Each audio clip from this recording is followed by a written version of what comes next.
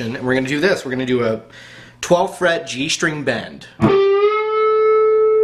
Whole step bend. And you can kind of focus on these two fingers being the strength for the bend because we're going to use our index finger to go over to the B and the high E.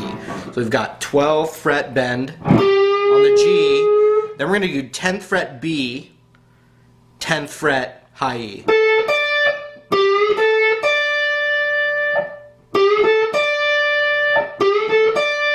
mean, that's a blues lick right there.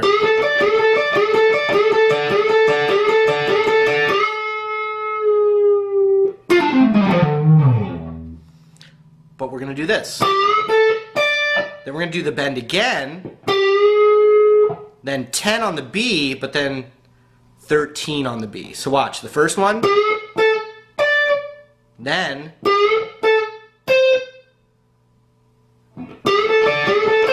See that? So we're going to go bend, 10, 10. So that would sound like this. Then we're going to do bend, 10, 13 on the B. So it's...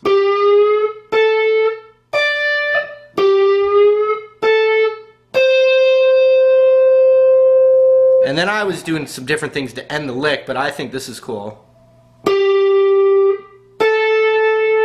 So we went 12 on the G to 10 on the B. Then we're going to go 10, 12 on the G. So it's. So here's everything.